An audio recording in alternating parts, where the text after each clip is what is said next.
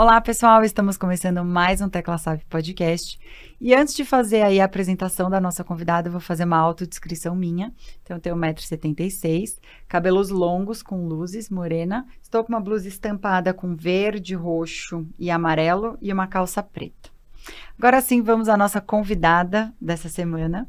Ela tem mais de 15 anos de experiências em veículos de comunicação e atuação na área de marketing e publicidade, com uma longa passagem pela Sony, especialista em desenvolvimento de estratégia de mídias e brand content, e atualmente é gerente de marketing e produção de projetos de conteúdo para marcas apenas na CNN Brasil. Camila, muito bem-vinda à Tecla SAP e obrigada aí por aceitar nosso convite. Obrigada a vocês pelo convite, Caru. É uma honra, de verdade. É meu primeiro podcast. Ai, então, que honra nossa, então, ter você aí. aqui. Não, e, é, e você sabe que o propósito é muito esse, né? Da gente trazer as pessoas que são de bastidor mesmo, para contar tanta história bacana e rica, assim como você tem aqui de muitos anos. Então, Vamos antes lá. da gente começar, vou pedir para você fazer uma autodescrição sua. Claro, bom. Eu tenho 1,62m, sou branca, né? Pele clara, com cabelo castanho claro e luzes. E estou vestida com um macacão preto, um blazer preto também, mas com sapato e cinto verdes. Para trazer um pouquinho de cor. Então, aproveitando agora, vou pedir para que todo mundo se inscreva aí no canal. E vou fazer a minha primeira pergunta aí para Camila. Cá, me conta como que você começou aí na parte de marketing e profissional de modo geral. Bom, eu costumo dizer que eu sou publicitária por acidente, porque eu cursei administração por formação e acabei ao, construindo a minha carreira num veículo de comunicação. É, mas iniciei como estagiária na área operacional. Então, eu estudei gestão empresarial no colégio técnico, fui fazer ADM porque eu não conseguia na época estudar direito, que era o que eu gostaria. E então eu fui migrando dentro do veículo para outras áreas que me levaram ao marketing e à publicidade, planejamento de vendas é, e projetos de conteúdo para marcas, sempre caminhando para uma área de comunicação que, apesar de eu ser bastante comunicativa, eu não colhei para o marketing, ah, é isso que eu quero. Mas a vida foi me levando, então aqui estou. Você cursou aí ADM, depois foi fazer marketing, cursos, né? A gente estava até no, nos bastidores, a gente fez é. quase que um podcast à parte aqui, é, conversando de muitas coisas, de, de vida, de histórias. E você falou muito dessa parte de sair da administração e fazer vários cursos de marketing, tudo. E muda muito, né, nossa área. Ela é muito dinâmica. Bastante. É, você ficou aí na Sony 15 anos, foi isso? 14 anos e meio. Eu entrei estagiária Passei por três áreas super importantes dentro de um veículo, mas quando eu, eu falo brincando, mas que eu, que eu sou publicitária por acidente, é muito porque, como eu estava te falando nos bastidores, se você fizer veterinária, você faz ADM como uma pós. É, se você faz publicidade, você faz ADM como uma pós.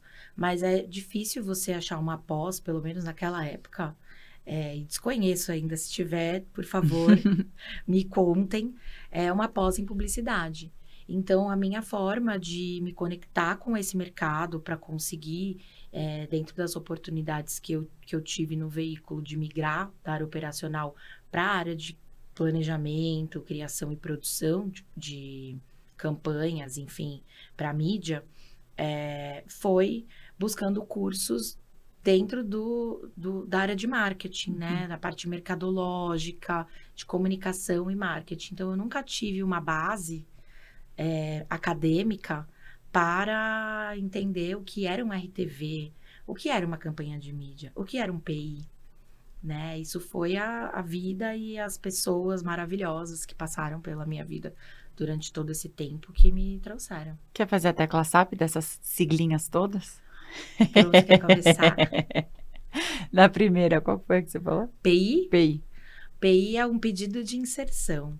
Então, acho que a ponta, é quase a ponta final de uma campanha de publicidade, né? Depois que todo mundo planeja e produz os materiais, o veículo recebe um documento. E esse documento é onde vem a data, o dia, o programa, o intervalo de qual programa que tem que ser veiculado aquele conteúdo, aquele material do, do cliente, ou o dia que tem que ser feito um post numa rede social, ou o período que tem que ser veiculado um vídeo no YouTube, por exemplo. Isso é um pedido de inserção. Muito bom. É bom porque eu vou chamando, exatamente, às vezes o óbvio só é óbvio para o olho treinado, Exato. né? Então, como a gente fala com todo mundo aqui, a gente quer ter uma linguagem muito mais fácil e acessível, eu sempre vou puxando isso para desmistificar mesmo essa linguagem do marketing, traduzir esse marketês. É bom, né? Quando a gente tem gente que é especialista, fica muito mais fácil da gente conseguir tirar é, esse marketês. A gente tenta, né? É. Tem algumas coisas que eu acho que nem os marqueteiros sabem traduzir direito e explicar muito bem, mas a gente tenta. Exatamente, é isso aí. E Cássia ficou aí os 14 anos na, na Sony. É, acredito que tem milhões de cases, muitas coisas, porque é uma cultura diferente também, né? É uma empresa japonesa, por mais que esteja aí tropicalizada para o nosso país. Conta um pouquinho de como que foi trabalhar lá tanto tempo. Bom, eu entrei lá estagiária na área de operações comerciais, que aí é o PEC, que dentro de veículos se fala muito, que é essa área que põe todas as campanhas no ar. Antigamente falava-se que era o coração da empresa. E aí eu fiquei cinco anos na área de OPEC. Naquela época, era 2007. A gente ainda tinha os filmes em caixinhas, né? A gente fala beta, mas são, eu já vou traduzindo aqui. Ótimo. É, são as caixinhas como a fita VHS que a gente assistia em casa. Tinha que botar no envelope para um portador devolver para a agência aquela beta, porque ela ia ser reutilizada. Então eu eu comecei nessa área, era quase um trabalho administrativo mesmo, né? Eu fazia essa parte de controle dessas, dessas fitas, eu botava, fazia as, colocava as campanhas no ar através dos PIs, como a gente comentou, e isso era muito operacional a princípio. Só que aquilo foi me gerando uma inquietude, porque quando você está dentro de um veículo como a Sony, que é extremamente respeitado, que tem conteúdos e programas de entretenimento, você quer entender um pouco mais, pelo menos você que eu falo a Camila, né? Uhum. A Camila lá de trás, principalmente. E em uma das conversas com o vice-presidente na época, Maurício Cotait, quando ele voltou para a Sony como vice-presidente, ele chamou todo mundo para conversar. E ele me perguntou, assim como para todos, como que estavam as coisas, é, o que, que a gente queria, o que, que a gente imaginava para o futuro. E eu falei para ele que eu gostava do que eu fazia lá em operações, mas que eu me sentia menos pertencente à empresa, porque as informações do entretenimento precisavam chegar ali. Uhum.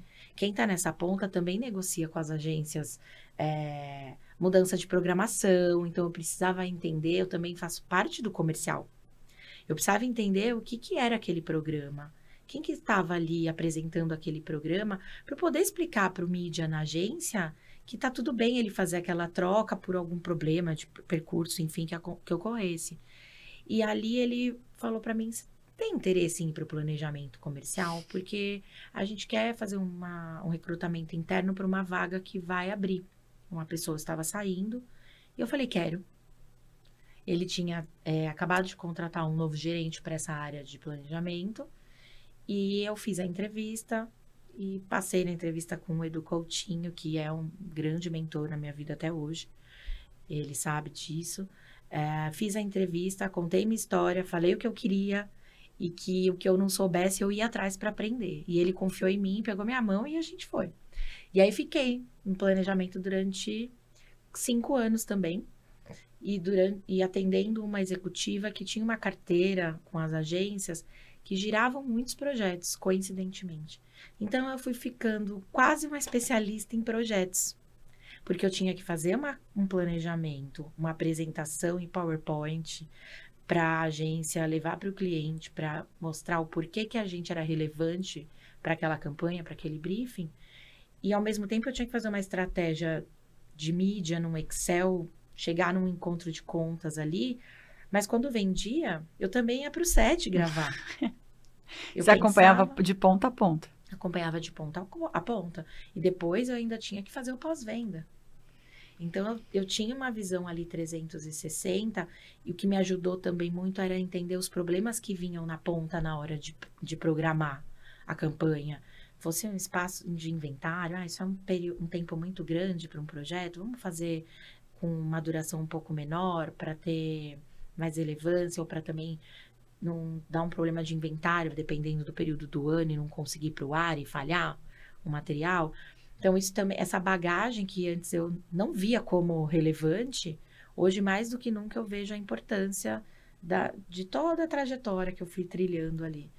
E aí, como eu fui ficando especialista em projeto, né, em, em produzir os projetos, a gente conseguiu montar, depois de mais cinco anos, a área de projetos dentro da Sony, junto com o Edu, que já estava como diretor, e eu deixar um pouquinho de lado o planejamento, sempre ali ajudando o time a lapidar o projeto, formatar o projeto para a gente ir para a rua vender e depois executar.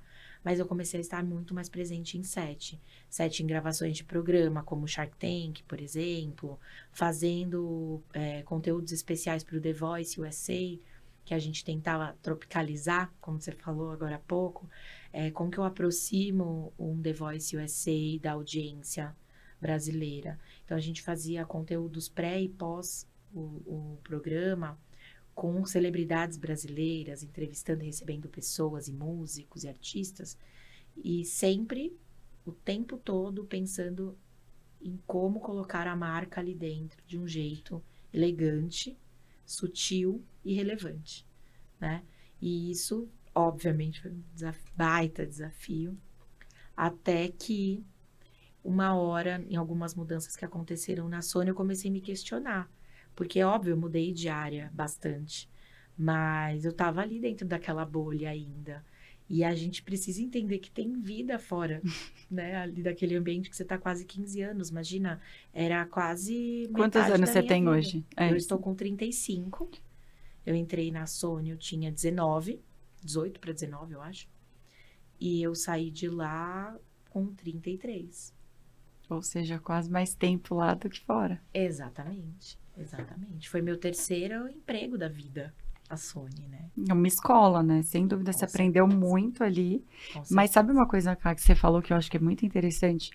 é o conhecer o todo, né? Então, ter uma visão 360 faz com que a gente seja um profissional mais amplo, né? A gente consegue entregar uma qualidade melhor, porque você já pensa no problema que pode ter lá na ponta, você antevê isso, né? Então. Isso tem um preço, né? Porque a gente vira levantadora de bola. Sim. E aí nem todo mundo acolhe tão bem, assim, porque você fala, olha, é, não é querendo ser pessimista, jamais. Mas a gente tem que se antever, como você disse, é, é parte do meu trabalho. E aí você começa a se tornar um profissional generalista, que vai dando pitaco em várias áreas. E às vezes eu tenho que dar um passinho para trás e falar, não, é, nesse momento eu tô com esse chapéu, eu preciso, posso comentar, posso pontuar, mas não posso sofrer. Uhum. Também preciso deixar acontecer. Eu acho que é uma grande dor do profissional generalista, porque quando tem é, algum problema, vão te cobrar. Você não viu isso? Você deixou isso passar? E aí você se cobra. É onde a gente se sabota um pouco. Você fala, meu Deus, quem que eu sou? Quando Crise eu... de identidade é, profissional. Quase, exatamente. quem que eu sou? Eu, eu não sou formada em rádio e TV, eu não trabalho com audiovisual, não sei sentar uma ilha para editar, eu sei dar, dar pitaco. E aí eu ouvia muito de um, de um amigo meu, ah, ela é sempre a cliente. A cliente que, porque eu estava intermediando os meus clientes uhum. nos projetos. Então eu tinha que fazer um filtro, né? Quando o projeto ele é conduzido por meio de um veículo, existe uma curadoria de conteúdo ali. Uhum. Então eu não posso simplesmente, a gente estava até falando disso agora há pouco, eu não posso simplesmente encaminhar um e-mail com material, eu preciso olhar se aquilo está de acordo com a régua do veículo que eu estou ali representando. Porque senão o cliente pode simplesmente contratar uma produtora e fazer fora. Né?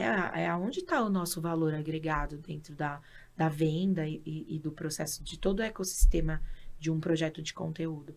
Então eu fui é, eu ficava me questionando, né? Mas quem, quem que eu sou aqui dentro? Quem que eu sou no set?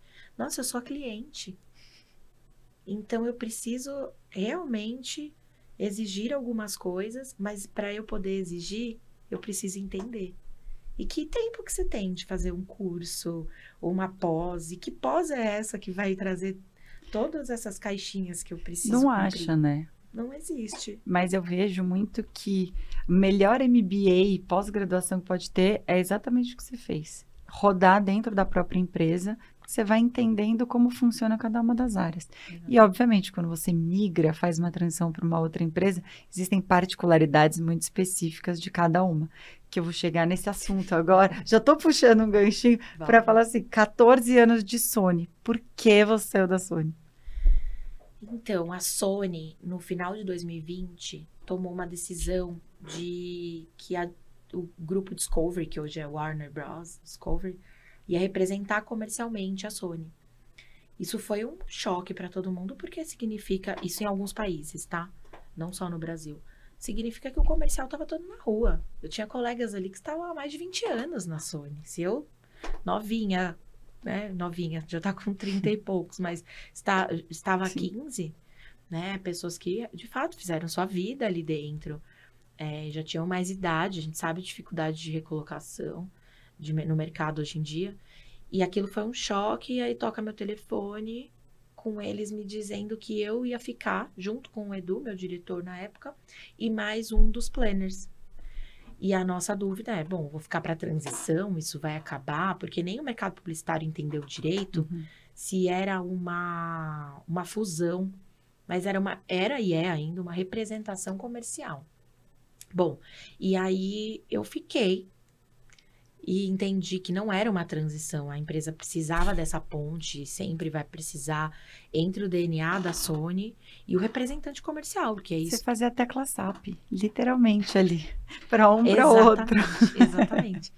E aí eu entendi que eu ia ficar. Entreguei um meu último projeto lá, que foi maravilhoso, uma experiência ímpar, é, com crianças. A gente fez um Shark Tank para crianças, é, com a Tang patrocinando, né, é, encabeçando esse projeto, e a gente conseguiu levar a Xuxa para dentro de um tanque para falar de negócios com crianças. Então, assim, acho que isso marcou muito a minha vida. Eu entreguei esse projeto, só que eu já estava sozinha com o time do exterior. Eu já não tinha mais ninguém aqui no Brasil para me reportar, para entender um pouco da nossa cultura que é diferente, né? Antes eu tinha ali o Edu, que era nosso braço e a nossa tecla SAP, de fato, com, com Miami e Los Angeles.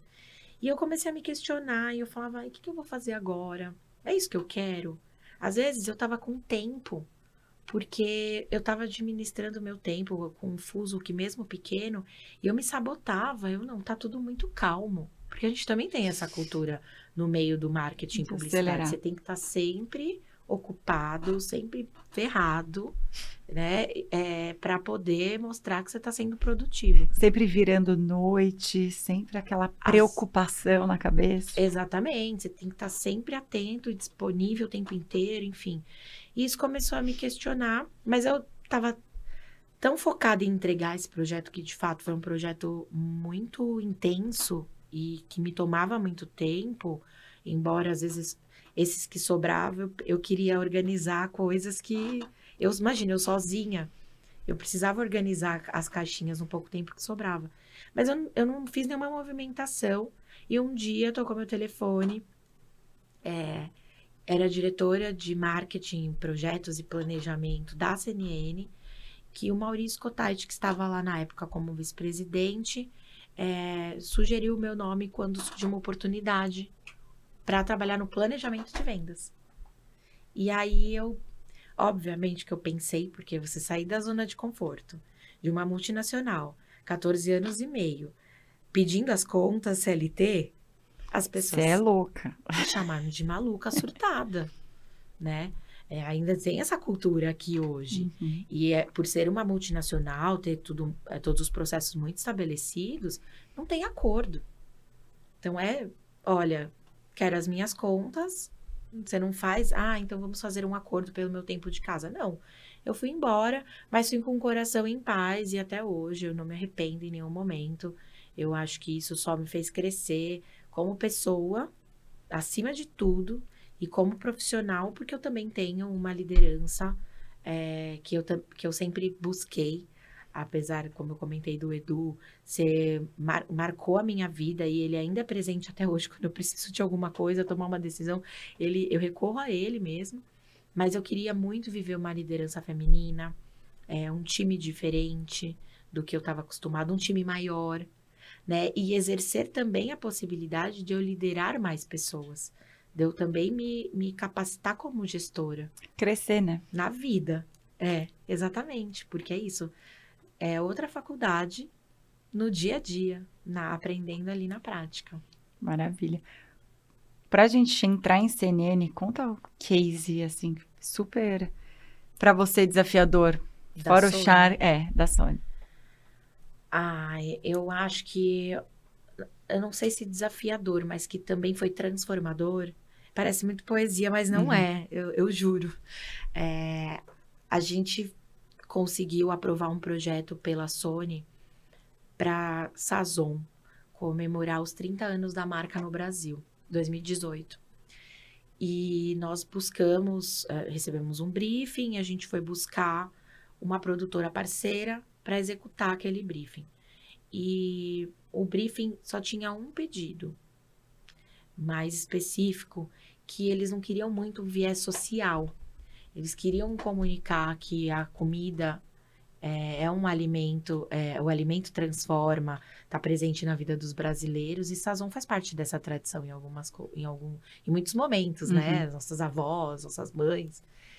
E aí a gente buscou um, uma produtora que o diretor, também querido e super sensível, Daniel Caselli, trouxe uma proposta que tinha sim um viés, um fundo uh, social, mas muito sutil, muito respeitoso, para a gente não cair num sensacionalismo, uhum. sabe? E a gente foi gravar esse projeto. Né? Então a gente planejou e a gente foi gravar esse projeto. Foram quatro estados em sete ou oito dias, se não me engano. Super corrido, como sempre. Mas as pessoas, os personagens reais que estavam nesse projeto edificam tanto a transformação na vida de outras pessoas que não tem como você olhar aquilo só como um trabalho e, e não trazer para sua vida pessoal, né? Eu me lembro que um deles eh, tem um coletivo de comida de rua em Porto Alegre e ele não faz isso só em datas especiais, se não me engano são duas ou três vezes por semana. Na época, né? Não sei hoje, depois da pandemia, como eles estão.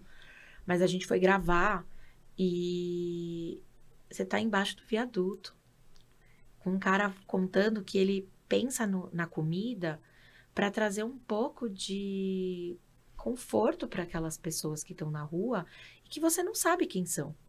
Porque tem moradores de rua com seus cachorrinhos sempre, Sim. mas tem idosos que fugiram de casa porque são maltratados pela família. Tem usuários de droga. Tem pessoas que você não sabe se vão ali na esquina assaltar uma outra pessoa. Então, aquele ambiente que de repente pode assustar, ele me abriu o, outro sentimento, sabe? Desbloqueou. De acolhimento, né? De acolhimento, de respeito, enfim. E isso. Os outros personagens também. Era uma, uma moça que ficou presa durante muitos anos, fez um curso de panificação na, na cadeia. E ela saiu e começou a viver dos pães que ela aprendeu a fazer lá dentro.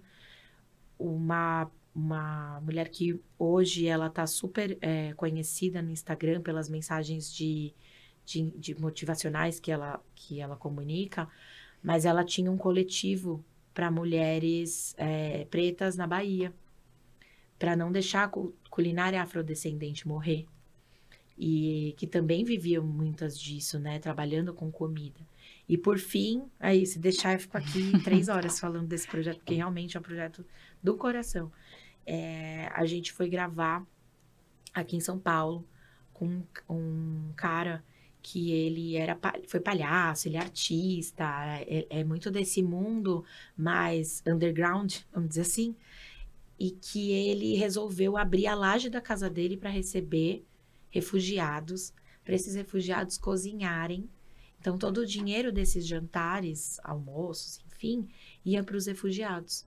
Então, é uma maneira desses refugiados se conectarem com as pessoas aqui, porque essa, também são pessoas que sofrem muito preconceito, fora já toda a dor que eles passam na vida, sofrem muito preconceito.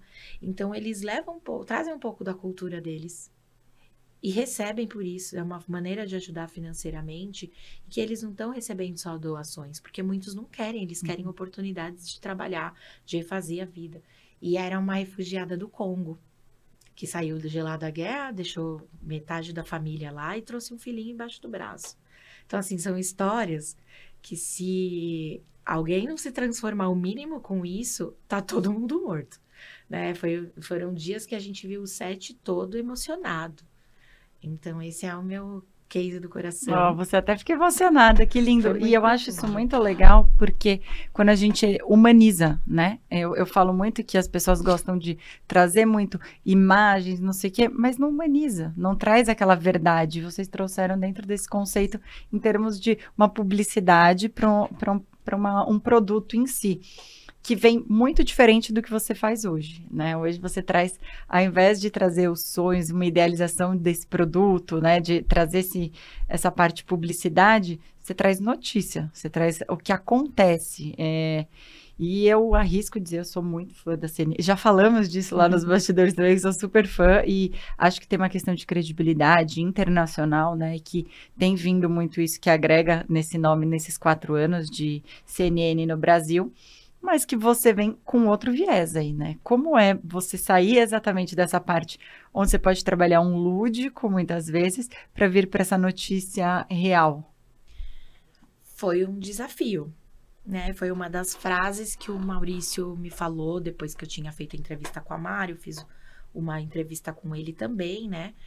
É, e foi uma das coisas que ele me, que ele me contou, uh, que ele me falou, que eram, olha, aqui não tem The Voice, aqui não tem Shark Tank, é diferente, é desafiador.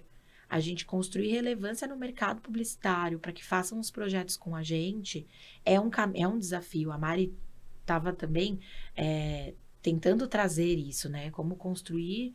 A, ela já tinha montado um, um departamento de projetos lá dentro e nós ali no planejamento de vendas, porque eu fui para a CNN para o planejamento de vendas e não para essa área de projetos e marketing. É, e eu tive que até sair um pouquinho desse desapego e olhar um pouco mais para o tático, para a parte de mídia, apesar da gente ter as ideias dos projetos. Mas eu não ia executá-los mais. Mas a gente, eu falei, vamos embora, vamos entender. Porque era isso que eu queria naquele momento, sair da minha bolha estourar a minha bolha entretenimento, é, Sony, The Voice, todos esses 15 anos. E entender o que, que é o mercado de hard news, o que, que é essa área de hard news. E eu tive uma sorte, eu acho que foi quase que uma transição, porque a CNN, como, como você disse, ela é nova no Brasil. É uma empresa brasileira, CNN Brasil, né? A gente tem que seguir todas as policies e, e, e os guides e o padrão, porque é uma marca extremamente respeitada e reconhecida no mundo inteiro. São mais de 200 é, países, presente em mais de 200 países. Então, a gente tem que ter essa curadoria. Mas eles estavam, naquele momento, com alguns conteúdos que a gente chamava de soft, que existiu até esse selo. Então, nós tínhamos um programa de entrevistas com a Gabriela Prioli, programas com, com a Mari Palmo, Karnal, que eram um pouco menos densos. A Mica Rocha também. A Mica Rocha, o ano passado. É, são um pouco menos densos, mas sempre com um propósito de levar uma informação para as pessoas, uhum. principalmente sobre negócio e economia. Porque as notícias hoje giram muito em torno disso, né? Política, negócio e economia. E como que a gente constrói ações ah, fora desse tipo de conteúdo? Então, a gente montava muitas coisas dentro desses programas, mas a gente precisava ficar ali naquele espaço periférico da notícia. Porque a pessoa que consome notícia, ela também compra carro. Ela também compra perfume, ela viaja. Ela consome de modo geral. Ela consome de modo geral. Então a gente precisava também trabalhar, tenho certeza, né, o trabalho da parte da área comercial, também levar o comercial é, para a rua, para as agências, para os clientes, para explicar isso, porque existe sim uma rejeição. Ah, é notícia, não vou anunciar em notícia, é mais legal anunciar, mais interessante anunciar no The Voice. Né? Mais, é mais amigável, é mais é, sutil. Porque como você se desconecta de uma notícia super pesada de uma guerra, para você comunicar os benefícios do seu cartão de crédito. Mas existe sim. O cara que está ali querendo entender da guerra, ele sabe que aquilo tem um impacto é, econômico, social. Ele, se seu produto tiver é, fit com o dele, que é o que a gente sempre tenta mostrar, meu público ele é diferenciado na CNN, né? É um público premium. A gente consegue fazer campanhas interessantes e projetos interessantes para aquele cliente que entende que a notícia faz parte do universo. Hoje em dia, quando você vê a, o consumo de podcasts, o consumo de informações nas redes sociais, os reels, os vídeos dos reels, isso também é notícia. Né? Não é o hard news, mas também é notícia. E é o que mais se consome hoje em dia. Porque as pessoas querem saber, querem ter informações, querem se inteirar, seja para pertencer, ou seja para planejar as vidas delas, que dependem muito do que está acontecendo no mundo, no Brasil e no mundo. Né? Com certeza, Cami. E sabe uma coisa que você está falando? E eu vejo muito que são públicos diferentes, né? A pessoa que está ali consumindo o, o The Voice, consumindo algumas outras coisas, ela está num outro momento dela também, né? Numa coisa de estar, às vezes, no momento de lazer, de estar numa descompressão, né? Já quem está vendo essas notícias, ela está no momento de foco também. Então, isso, de repente, dependendo do tipo de conversão que você quer e qual tipo de público que você está querendo atingir com o seu produto, isso também tem uma relevância grande. Sem dúvida nenhuma, com certeza. Mas é esse essa transição que a gente precisa entender na hora de imprimir as ideias num plano comercial, por exemplo.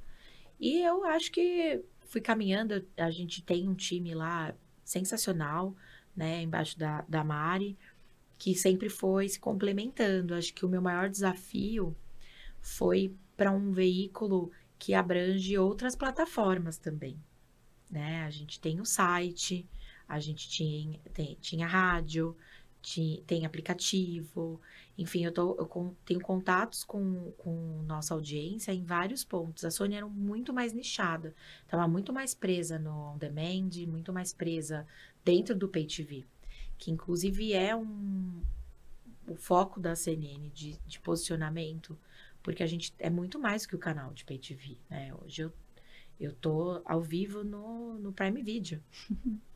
Você liga as, as TVs conectadas da Samsung, tá ali dentro o, canal da CNN. O YouTube espelhado 24 horas ao vivo. Ou seja, é, eu estou muito além dos números de você puxar um ranking ali na agência e olhar e falar, nossa, que, que posição que você tá? Ah, tô, sei lá, em 27 é lógico, o canal de notícias já não tá lá no topo do ranking. Uhum. Mas eu converso com quase 59 milhões de pessoas por mês. Uau. Eu estou nas redes sociais. Eu tenho muito conteúdo ali. É, TikTok, Kawaii, o próprio YouTube, como eu já comentei, Instagram. As pessoas estão em todos os lugares. O nosso TikTok foi uma surpresa. A gente tem quase 3 milhões de pessoas consumindo os nossos conteúdos no TikTok eu falo isso desde a segunda temporada, quando a Silvia veio aqui do TikTok. Que as pessoas, elas acham que o TikTok é só uma rede de dancinha quando não é. Tem uma oportunidade gigantesca ali dentro. E eu sou super. Eu, toda vez eu falo, gente, teste, pelo menos, o TikTok, né? Porque ele é muito utilizado com inteligência artificial e Big Data para te fazer é, colocar os conteúdos de fato que você quer buscar. Você então, é, inclusive, ela me comentou que um dos maiores clientes dela lá dentro era uma empresa de agro. Quando você vai dizer que no TikTok uma empresa de agro é relevante? E o Kawaii também. Eu ia te perguntar isso agora. Eu acho que até falei trocados números, desculpa. Mas a gente tem é, quase 3 milhões de pessoas no Kawaii. que foi uma engaja aí. Hoje surpresa. o que que vocês usam? Até fazendo perguntas aqui, porque a gente é assim, a gente quer saber tudo. É, hoje, qual que é a estratégia? Vocês usam o mesmo conteúdo multiplataformas ou vocês criam um para cada canal? Editorialmente, a gente encaixa para Kawaii e para TikTok um conteúdo mais perene, né? Isso uhum. é, o nosso time de redes maravilhoso, que tem feito um trabalho brilhante, que cresceu junto com a CNN hum, ali, né? Tímido e de repente um boom. É, pro, pro Instagram, óbvio, tem uma comunicação muito mais direcionada. E hoje em dia também os shorts do YouTube, que cresceram exponencialmente. Então a comunicação ela é direcionada para o formato do vídeo, porque eu tenho que espalhar a notícia.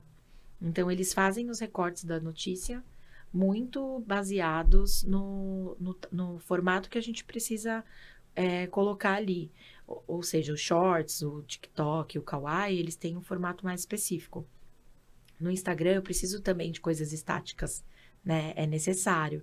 Então, tem bastante coisas estáticas. Mas a gente também comunica no LinkedIn, a gente tem perfis direcionados. Então, tem o CNN Pop, que traz um outro tipo de conteúdo, um pouco menos mais denso, leve, né? mais leve de, de entretenimento.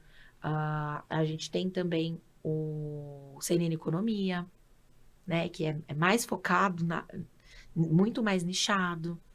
Né? Então, é, é construído e produzido, sim, conteúdos de acordo com a rede e com que os estudos e todas as tendências vão mostrando para o time que é melhor para produzir, porque a gente quer estar tá perto dessas pessoas do jeito que elas gostariam de receber a notícia. Isso é importante, estar perto do seu cliente e entender o que ele quer. Então, no CNN, é, no CNN Economia, você não vai colocar uma coisa fã ou de entretenimento, porque você vai desconectar com o propósito do que ele quer ver ali, né? Então, Exatamente. Então, já no CNN mais genérico, você consegue abranger tudo para fazer esse mix aí, para ser um resumão. Exatamente. Né? exatamente. Então, fantástico. Cami, qual que é seu papel hoje lá? Porque o seu cargo, eu vou até ler de novo, porque eu não vou saber falar ele sozinha. Especialista em desenvolvimento de estratégia de mídia branding content. Ah, não, essa era do, da Sony, desculpa. Gerente de marketing e produção de projetos de conteúdos para marca. Eu hoje tenho dois chapéus lá. Né? Eu fui para a CNN para a área de planejamento de vendas e há quase um ano surgiu a oportunidade de eu voltar para a parte de produção de projetos de conteúdo e branded content. É, e também o marketing, eu brinco que veio de brinde, com muita confiança da, da, da Mari Cantarelli, que é a minha diretora hoje, que foi um momento desafiador, porque o marketing ele está presente em quem comunica o tempo todo. Só que eu agora tinha uma responsabilidade de cuidar da nossa marca. Eu sempre cuidei da marca das pessoas, das outras pessoas. Então, hoje o meu papel é gerir o marketing de uma empresa jovem ainda, de notícias, com todos esses desafios, e eu voltei a cuidar de projetos.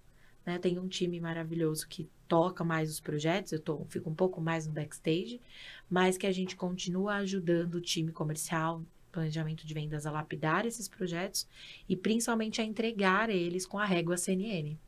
Então, tenho essa, cura, essa responsabilidade hoje da curadoria editorial de conteúdos para marcas dentro da CNN também. E é engraçado você falar essa marca jovem, né? É quase aquela, aquela música, não sei se você conhece, da Sandy, jovem para ser velha e velha para ser jovem. Então, assim, CNN Brasil tem quatro anos, mas tem um legado aí de quantos anos, né? Em 200 países, enfim, de uma questão tradicional e de antiga e ao mesmo tempo é nova aqui, né? É muita responsabilidade, né?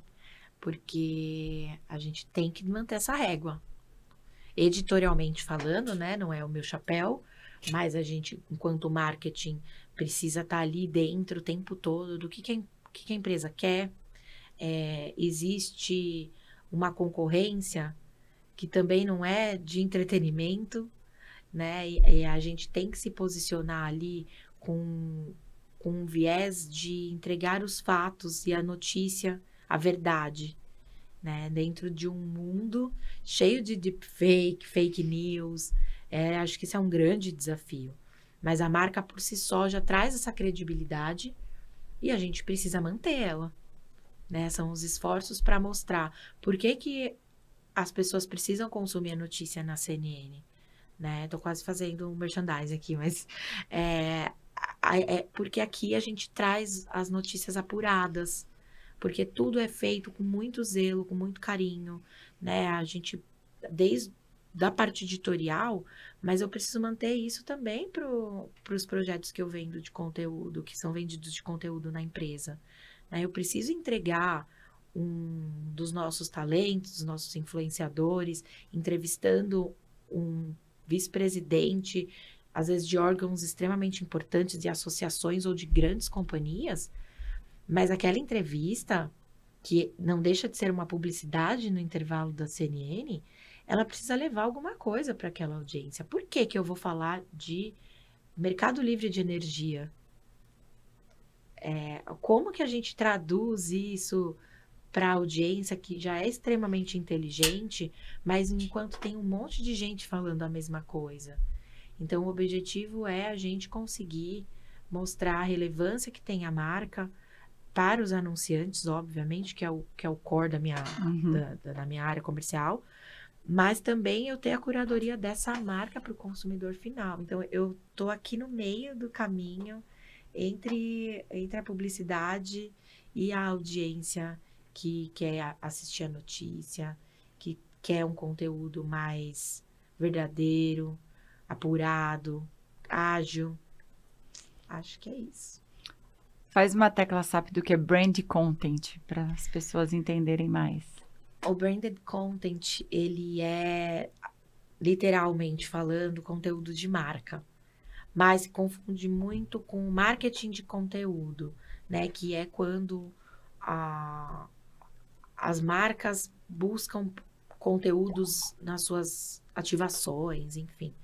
Quando a gente fala do branded content, é, geralmente é dentro de um veículo, onde as marcas muitas vezes coproduzem as coisas com os veículos. Então, são projetos feitos a seis mãos.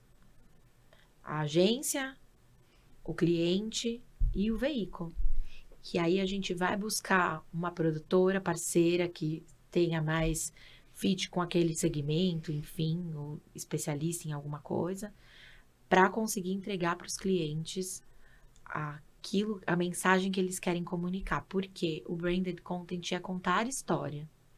É, tem dois caminhos para o branded content.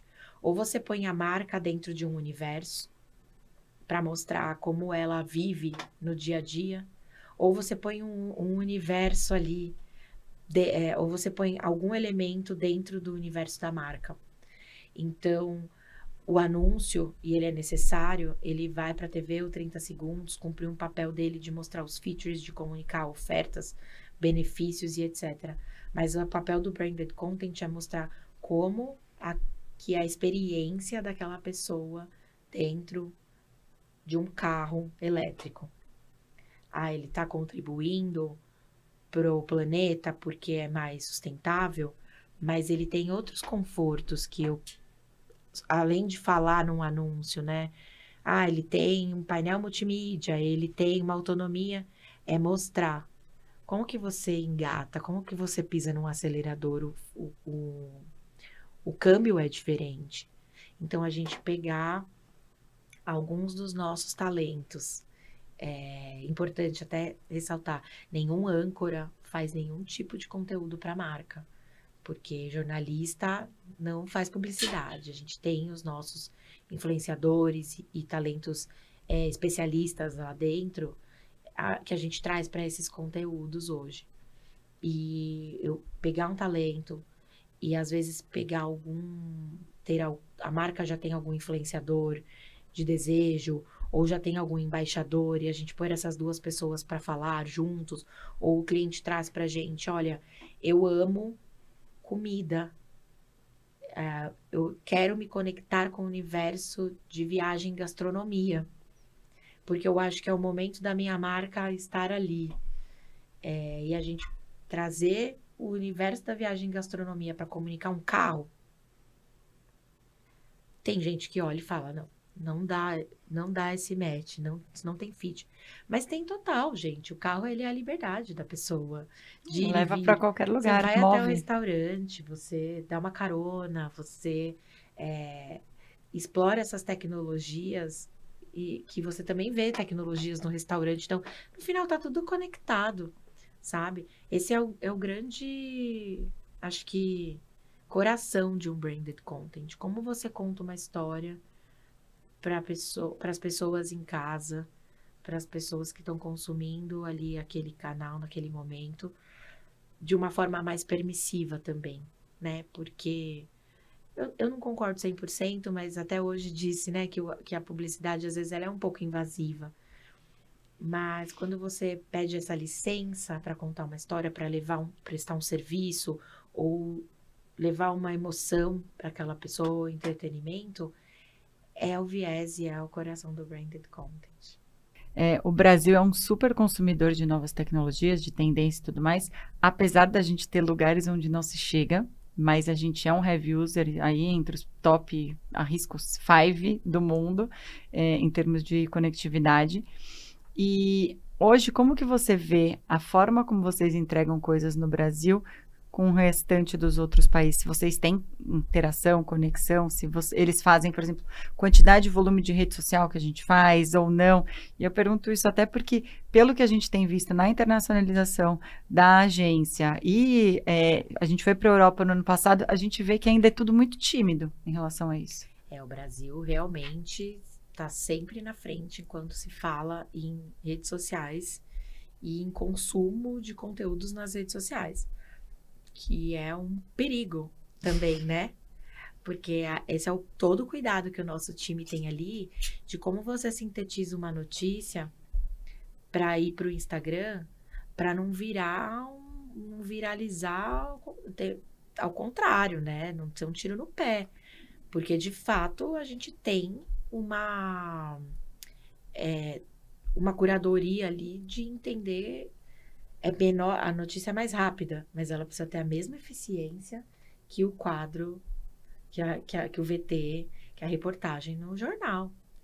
Então, sim, a gente tem um volume muito maior, mas a gente tem a obrigação de seguir as policies todas e manter a régua de qualidade da CNN Internacional.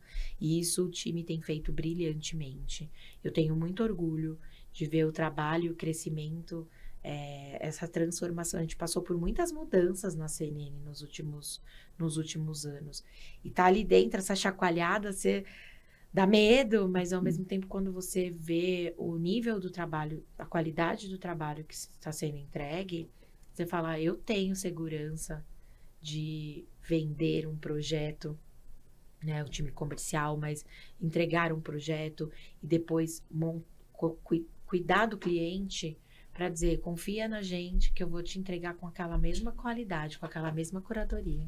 Fantástico, Cami. Eu acho que é, é bem isso mesmo, né? De trazer a questão do compromisso e da entrega com qualidade, da forma como vocês já entregam há muito tempo né? E você falou também do SXSW, eu quero até agradecer, porque você tinha uma reunião hoje para resolver um monte de coisa do SXSW, e aí conseguiu voltar a encaixar aqui a gente hoje de novo, então eu quero super agradecer Imagina. isso, que deu certo, porque eu sei também que tem coisas que fogem das nossas agendas, das nossas alçadas também, e até fazendo um ponto de SXSW, a gente teve um convidado no ano passado, o Felipe, que ele foi para esse XSW, ele falou que no line-up do ano passado não estava inteligência artificial, eles tiveram que colocar por causa do boom que teve em, novembro. Então, acredito que você vai ter que voltar aqui para contar toda a novidade depois. Olha, eu tô indo para trabalhar, eu gostaria muito também de ter oportunidade um dia de, de poder consumir mesmo tudo que tudo que eles entregam, porque de fato é uhum. é um evento gigantesco, é. né? E que acontece há muito tempo. É, o evento tá ali 24 horas rolando, porque tem happy hours, tem encontros à noite, etc. A gente está indo é, para fazer uma cobertura é, para um quadro que a gente tem na, na CNN E tem um cliente já que patrocina esse nosso, esse nosso quadro. Então, eu vou trabalhar bastante, mas eu também espero conseguir aprender, consumir um pouco do que tem ali dentro. Vai trazer uma tendência aí do Porque, mercado. de fato, acho que é muito relevante, né? Coisas boas saem de lá, bons lançamentos.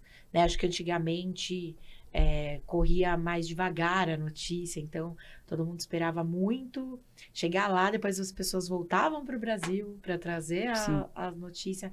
Hoje é um pouco mais rápido, que é isso, inclusive, que a gente está indo fazer lá, conseguir mostrar quase em tempo real aqui para o Brasil o que é que está rolando lá dentro, como que as marcas se conectam com essas tendências de música, entretenimento, notícia, inteligência artificial e tecnologia. Eu acho que tem uma palavra que tem que estar em tudo hoje em dia é a tecnologia, né? Para conectar tudo, inclusive as pessoas.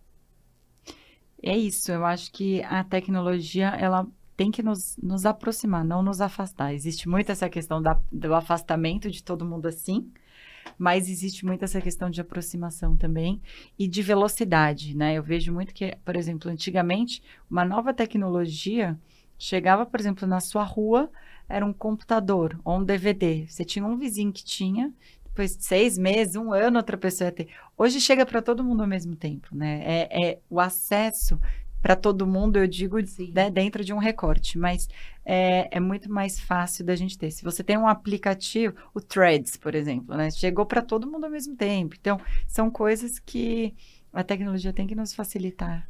Sim, e o Brasil ele sai na frente em muitas coisas, né? Seja na medicina, dentistas, né? Isso é uma competência que a inteligência artificial não entrega. Mas tem uma outra é, tecnologia que, inclusive, a, o Abílio Diniz faleceu nesse final de semana. É um cara dispensa qualquer apresentação aqui em termos de empreendedorismo, marketing, até pessoal e ser humano. E eu estava assistindo o especial que a gente reapresentou no domingo sobre ele, que ele fala muito sobre o que é o Pix. O Pix é um negócio que não existe em outros lugares do mundo. E a gente consegue ter a conexão, tendo a conexão com a internet lá nas aldeias indígenas do Amazonas. Algumas que já têm, né, certa conexão com a internet. No Acre, é, você chega nas fronteiras, é, quando eu digo fronteiras, não fronteira do país, mas Sim. de, de financeiras, sociais, sabe? O Pix não vê é, Classe carteira, social. classe social. Exato. Então, assim, é uma grande tecnologia que é Brasileira. Brasil. Mas você sabe que a Ingrid Bart, ela é a presidente da BS Startups.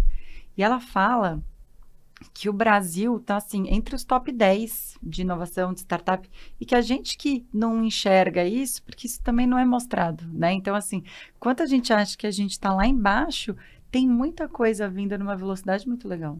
Sim, quando eu fazia Shark Tank, embora cuidasse das marcas, mas a gente acompanhava todas as gravações, todos os pitches dos, dos empreendedores.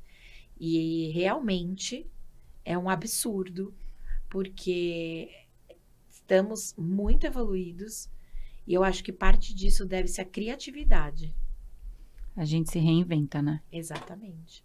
Porque a, a criatividade, ela não é só estética, né? Não sei se eu me coloco bem falando a- assim, mas quando você fala criatividade, parece que você tá falando, ah, é a publicidade, é a propaganda. Não, mas você tem que ser criativo da forma como você vai vender, da forma como você vai fazer dinheiro, é da forma como... soluções, né? Você tem que ser É. criativo para solucionar os seus problemas, Exato. né? Você tem que ser criativo para solucionar situações que você é, não, não se deparou. E tem gente que se sobressai com isso. Eu acho que, historicamente falando, o Brasil realmente tinha necessidade de ser criativo em várias coisas. E isso foi evoluindo. Infelizmente, não temos tantos investimento quanto gostaríamos. Uhum. Mas temos grandes empresários que investem, que apostam nessas pessoas e estão conseguindo dar tração para para muitos produtos e muitas tecnologias, serviços que a gente nem imaginava que um dia fosse existir. Com certeza. Existem muito pool, muitos pools de investimentos, inclusive hoje de manhã eu estava, porque eu sou só investidora anjo de alguns, então Legal. falando exatamente disso, de é, as iniciativas que tem, né? E a gente realmente incentivar para que a gente alavanque isso aqui no Brasil. Sou uma grande apostadora disso. O papo tá excelente, mas a gente, ó, a gente vai indo, olha, já estamos aqui quase Exato. uma hora de papo e eu preciso chegar no momento onde eu quero saber de você com o nosso ícone na mão. A gente tem um momento aqui, Cami, onde a gente gosta que o nosso convidado ele deixe a mensagem dele, se ela pudesse chegar para o mundo. Então pode ser uma mensagem de vida, pode ser uma mensagem referente a marketing, comunicação, brand, o que você quiser. E aí eu vou pedir para você autografar também e deixar aqui a sua mensagem. Claro. Sua assinatura. Bom. Precisa ligar, não, né? Não, senão, não, senão a gente estoura o, o, ouvido de todo mundo aqui. Se você quiser enfatizar, olhar para sua câmera, fique à vontade. Eu vou ser muito sucinta, diferente do que eu costumo ser, mas eu acho que a minha mensagem para o mundo, como pessoa e profissional, é: sejam humanos. Porque a IA nunca vai dominar a gente enquanto a gente olhar para o outro como humanos. É Maravilha. Isso. Adorei. É isso, o sentimento, né? Que a gente tem que ter. Vamos lá. Ai, gente, tô muito importante autografando aqui. Você viu? Ah, não, a gente quer um registro de todo mundo. Esse já é o nosso segundo megafone.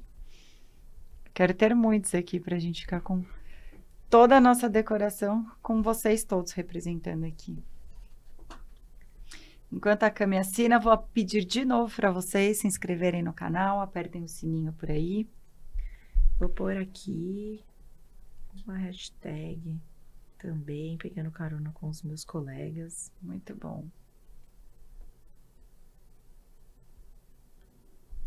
Eba. Obrigada, Cami.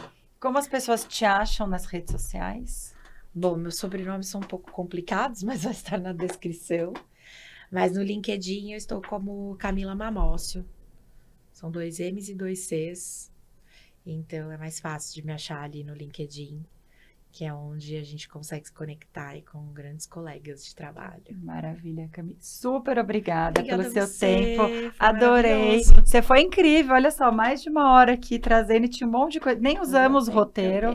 Tem muita coisa aqui, muito conteúdo. Super obrigada. Parabéns aí pela sua história.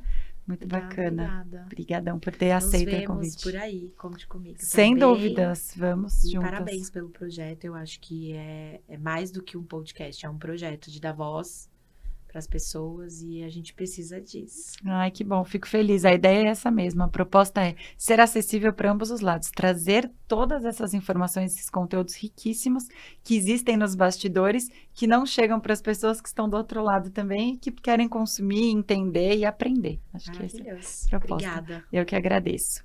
E esse foi mais um Tecla Sabe Podcast. Toda semana a gente tem um novo episódio no ar nessa terceira temporada. Se você quiser encontrar a gente em outros canais, a gente está aí nas redes sociais como arroba e as minhas redes sociais é arroba Caro Fernandes. Então, temos TikTok, LinkedIn, Instagram, Kawaii também a gente tem. E caso você tenha interesse também no nosso livro, A Tecla SAP do Marquetês, em algum lugar por aqui vai estar um QR Code aí para direcionar para vocês irem até lá. Então, obrigada, até o próximo episódio.